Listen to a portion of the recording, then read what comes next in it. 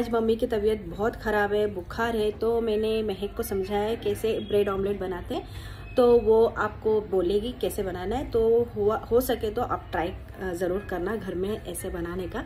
चल महक कैसे बनाते हैं ब्रेड ऑमलेट? पहले क्या करना है? पहले दो अंडा दो ना? एक अंडा। एक अंडा लेना है तोड़ना है फिर उसमें बा- एक बार में डालना है। हम्म, और हम्म, अनियन डालना है। अनियन कट करके मम्मी रखी है और उसको मिक्स सारे से मिक्स करना है। हाँ?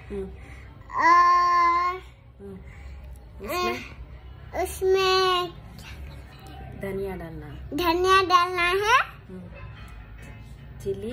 Chilli powder. डालना है और थोड़ा साउथ डालना साउथ ना? हम्म, साउथ डालना है। हम्म, ने तवा पूरा गरम कर देना है ना? ज़्यादा नहीं गरम करना ज़्यादा गरम नहीं करना हम्म। थोड़ा गरम करना है। हम्म, और उसमें वो है ना ए, अंडे का बैटर अंडे का बटर वो थोड़ा सा डालना है। हम्म, और उसके गरम के बाद ब्लेड डालना है।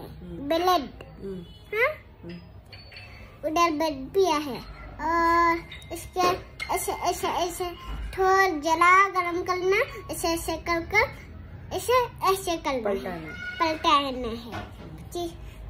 फिर से ऐसे ऐसे कर कर कैसे डालना है? प्लेट में डालना है। पेट में डालना है। हाँ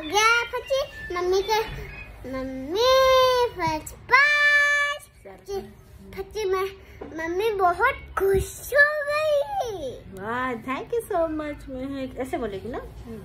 बाय बाय